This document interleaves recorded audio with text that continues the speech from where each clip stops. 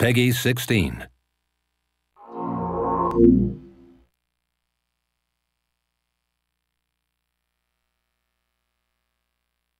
And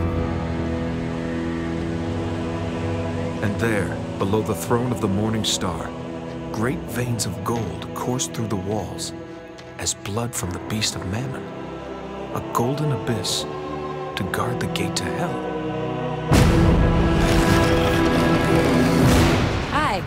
Marisa Chase. Nate, Nope.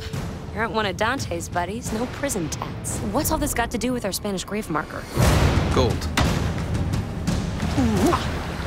It's just the beginning. Oh! You do know this says keep up. Yeah, I know that. We got special permission.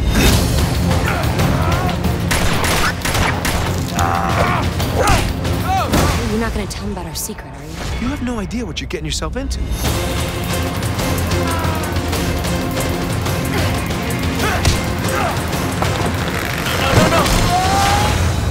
Getting all cozy down there.